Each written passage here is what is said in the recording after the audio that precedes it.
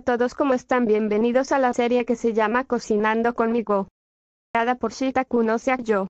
Bueno, hoy estamos en la primera serie, hoy vamos a cocinar pizza.